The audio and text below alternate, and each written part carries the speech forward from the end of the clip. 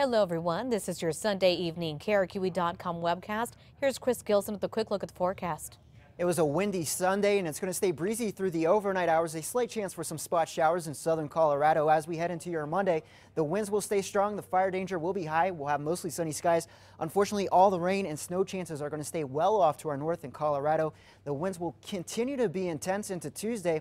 An area of low pressure will move into that region as we head into your Wednesday, and that will drop our temperatures below average by the middle of the week.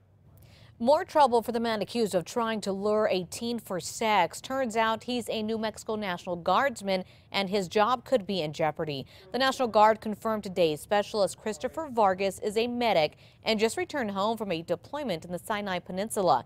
Yesterday, Vargas faced a judge on a sexual exploitation of a child by prostitution charge. Homeland Security investigators and APD arrested Vargas Thursday morning and seized his car after they say he made arrangements to meet who he thought was a 15-year-old girl for sex, even offering to pay her. A colonel with the National Guard confirmed they are aware of the charges. If he's proven, proven guilty, he could be discharged. A family outing ended when dad was hauled off to jail. Robert Harris was in court today on a child abuse charge.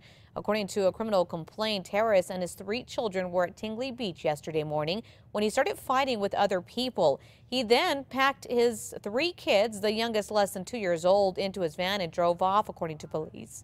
Police say he would return, and that's when officers say he failed field sobriety test and blew at or above 0.16 on a breath alcohol test. Harris was taken to jail. No word on who took custody of the children.